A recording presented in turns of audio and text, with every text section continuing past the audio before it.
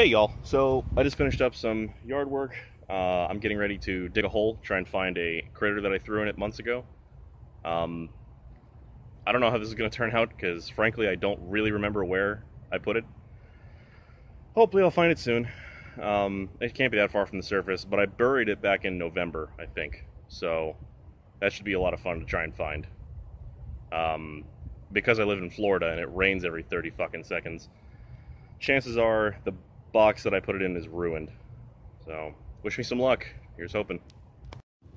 Okay, well, it's been 30 minutes, 40 minutes maybe, and uh, I have a big damn hole. No box yet. Um, hang on a second, let me show you what, what we've got here. We got a lovely pile of sand, we got a nice hole in the earth. Whew. It is also really fucking hot outside. Who'd have thunk? So ideally, it's not gonna be much longer. I know it was around here somewhere. It was around this big damn tree. Uh, I got my shovel and my axe because Florida and roots. So, uh, I hope this is over soon. I'd like to go inside and get me some nice H2O. It's fucking hot. I am an ass and I'm digging a hole. Diggy diggy hole. Dig fucking shit. Roots, god damn it. Ruined my sing along. okay, well, this is taking a lot longer than I expected. Uh, I'm finding chunks of the bucket, or not the bucket, the box.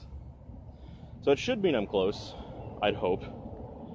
I'm finding little bits and pieces. Here's one right now. Little little chunk of cardboard.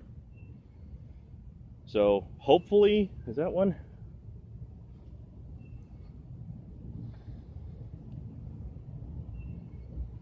Nope, that's tree shit.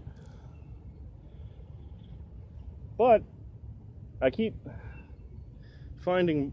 Oh, hey, here's a good one. A nice big chunk. This was buried in a Spirit Halloween box from something I bought from their witchcraft section because it looked dope.